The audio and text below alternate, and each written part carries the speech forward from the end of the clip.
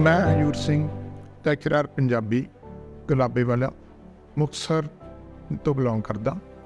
ਮੈਂ, ਮੇਰਾ ਪਹਿਲਾ ਸਭ ਤੋਂ ਪਹਿਲਾਂ ਜਿਹੜਾ ਐਕਸੀਡੈਂਟ ਹੈਗਾ 2009 ਦੇ ਵਿੱਚ ਹੋਇਆ ਸੀਗਾ। ਲੇਕਿਨ ਮੈਂ ਉੱਥੋਂ ਇਲਾਜ ਕਰਾਇਆ ਸੀਗਾ, ਠੀਕ ਹੋ ਗਿਆ ਸੀਗਾ। ਬਾਅਦ ਵਿੱਚ ਉਹੀ ਲੱਤ ਦਾ, ਖੱਬੀ ਲੱਤ ਦਾ ਮੇਰਾ ਐਕਸੀਡੈਂਟ ਜਿਹੜਾ ਹੈਗਾ 2014 ਦੇ ਵਿੱਚ ਹੋਇਆ।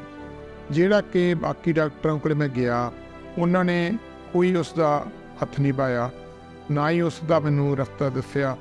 ਉਸ ਤੋਂ ਬਾਅਦ ਲਾਸਟ ਤੇ ਮੈਂ ਇਹ ਡਿਸਾਈਡ ਕੀਤਾ ਕਿ ਮੈਂ ਅਮਨਦੀਪ ਹਸਪੀਟਲ ਅੰਮ੍ਰਿਤਸਰ ਦੇ ਵਿੱਚ ਜਾਵਾਂ ਤੇ ਉੱਥੇ ਡਾਕਟਰ ਅਵਤਾਰ ਸਿੰਘ ਜਿਹੜੇ ਹੈ ਕਿ ਨੇ ਬਹੁਤ ਹੀ ਸਿਆਣੇ ਤੇ ਵਧੀਆ ਡਾਕਟਰ ਨੇ, ਮੈਂ ਇੱਥੇ ਆਇਆ।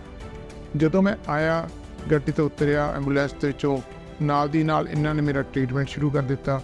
ਡਾਕਟਰ ਸਾਹਿਬ ਨੂੰ ਮਿਲਿਆ। ਡਾਕਟਰ ਸਾਹਿਬ ਨੇ ਮੈਨੂੰ ਇਹ ਕਿਹਾ ਕਿ ਇਹ ਆਪਰੇਟ ਜਿਹੜਾ ਮੈਂ ਆਪ ਕਰਾਂਗਾ। ਲੇਕਿਨ ਜਦੋਂ ਉਹਨਾਂ ਨੇ ਆਪਰੇਟ ਕੀਤਾ ਉਹਦੇ ਵਿੱਚ ਸਕਰੂ ਵਗੈਰਾ, ਇੱਕ ਛੋਟੀ ਪਲੇਟ ਪਾਈ। ਜਿਹੜਾ ਮੇਰਾ ਗੋਡਾ ਕ੍ਰੈਸ਼ ਹੋਇਆ ਸੀਗਾ ਖੱਬਾ, ਉਹ ਬਿਲਕੁਲ ਉਹਨਾਂ ਨੇ ਠੀਕ ਕਰਤਾ। 6 ਮਹੀਨੇ ਦੇ ਵਿੱਚ ਮੈਂ ਬਹੁਤ ਹੀ ਵਧੀਆ ਢੰਗ ਦੇ ਨਾਲ ਤੁਰਨ ਕਰਨ ਲੱਗ ਗਿਆ ਸੀਗਾ। ਹੁਣ ਮੈਂ ਇਹ 2014 ਦੀ ਗੱਲ ਆ। ਹੁਣ 2023 ਹੋ ਗਿਆ 9 ਸਾਲ ਹੋ ਗਏ ਲਗਭਗ। ਮੈਂ ਹੁਣ ਬਿਲਕੁਲ ਠੀਕ ਆ। ਲੇਕਿਨ ਮੈਂ ਆਪਣਾ ਚੈੱਕਅਪ ਜ਼ਰੂਰ ਕਰਾਉਣਾ ਵਾਸਤੇ ਆਉਣਾ ਹੈਗਾ ਵੀ ਕੋਈ ਪ੍ਰੋਬਲਮ ਨਾ ਆਵੇ।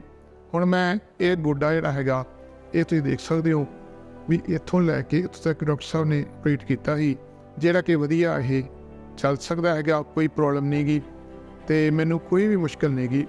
ਮੈਂ ਲਾਸਟ ਵਿੱਚ ਇਹ ਜ਼ਰੂਰ ਕਹਾਂਗਾ ਕਿ ਜੇ ਕਿਸੇ ਭੈਣ ਭਰਾ ਨੂੰ ਕੋਈ ਵੀ ਪ੍ਰੋਬਲਮ ਆਉਂਦੀ ਆ, ਗੋਡੇ ਟੁੱਟਣ ਸੰਬੰਧੀ ਜਾਂ ਕਿਸ ਤਰ੍ਹਾਂ ਦਾ ਵੀ ਹੈਗਾ, ਤੇ ਇਹ ਮੈਂ ਜ਼ਰੂਰ ਰਿਕੁਐਸਟ ਕਰੂੰਗਾ ਕਿ ਜਿਹੜਾ ਕਿ ਆਪਣਾ ਅਮਨਦੀਪ ਹਸਪੀਟਲ ਹੈਗਾ ਅੰਮ੍ਰਿਤਸਰ ਦੇ ਵਿੱਚ ਸਥਿਤ ਡਾਕਟਰ ਅਵਤਾਰ ਸਿੰਘ ਜੀ ਨੂੰ ਕਰਕੇ ਟ੍ਰੀਟ ਕਰਦੇ ਨੇ ਵੀ ਉਹਨਾਂ ਨੂੰ ਜ਼ਰੂਰ ਚੈੱਕਅਪ ਕਰਾਓ ਕਿ ਤਾਂ ਕਿ ਤੁਹਾਨੂੰ ਕੀ ਪ੍ਰੋਬਲਮ ਨਾ ਆ ਸਕੇ।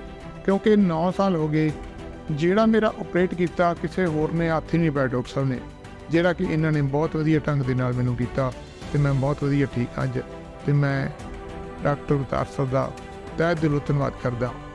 ਮਿਹਰਬਾਨੀ ਥੈਂਕ ਯੂ